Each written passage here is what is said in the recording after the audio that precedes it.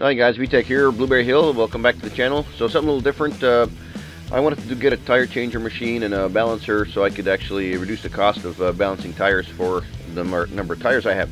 So uh, I put the word out and uh, a buddy of mine named Todd, he runs uh, Shop Outfitters at a College Station, had a used, uh, quite well used Coats 7060EX um, which he gave me at a, a, pretty good price and needed a little bit of love and tender care. So I bought it for him, from him, and uh, I'm doing a little bit of R&R at the moment.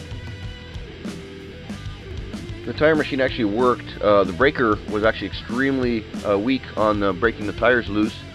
So I just rebuilt this cylinder. This does that. He claimed he had done that. I think the, the piston inside was new.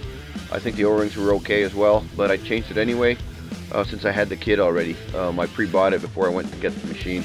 Here I'm putting the piston on there, um, and then I shove it in the, uh, the cylinder, button that part up, and uh, the rest of the, the fix on the machine was just putting new air lines and a couple of fittings um, on the, the thing. Uh, what threw me for a loop is that the, the small air lines, they're three and a half millimeter uh, on the uh, OD, and inside I believe they're two two millimeter or something or other. They're very tiny uh, but two of the fittings that go on the inside of the machine on the, the breaker valve uh, did not want to seal properly, so I had to get two new fittings um, and then source the air lines themselves. So here's the air valve. This is the old air valve. Um, I'm taking that out. Um, so I don't know what was wrong with it. Uh, they have rebuild kits for them, just O-rings and stuff. Who cares? Um, I bought the new new valve and it seems to work.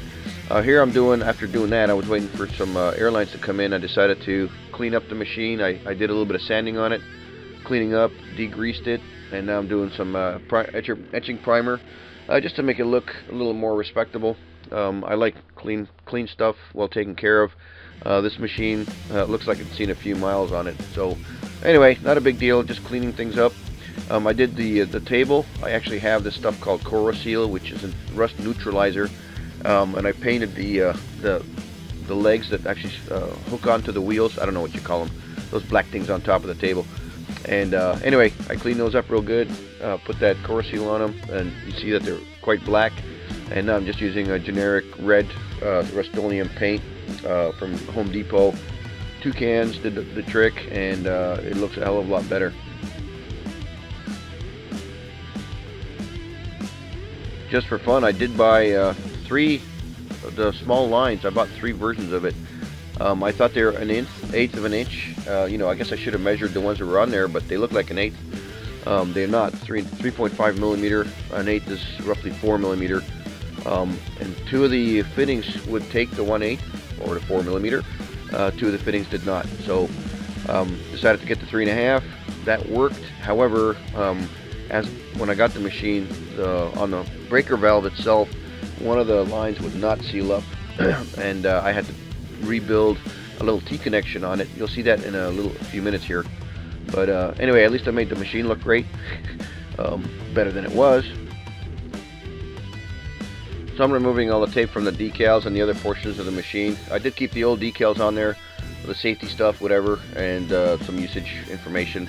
Uh, the decals themselves are not in the greatest shape, but I kept them anyway, just for the heck of it. Um, the machine looks great. So here I'm shoving the, uh, the tank back in. You can see the tank's already in place. Now I'm doing the valve. And in a minute I'll show you the little T-connection that I have to put on that valve. So this is a kind of a generic air valve. They, a lot of places seem to sell them. They're about 100 bucks, 125 bucks or something like that. Um, and once I put this in, everything seemed to work perfectly. Um, the T-connection, the brass thing, um, and two new air push connects were required. Everything seems to be working. And of course this here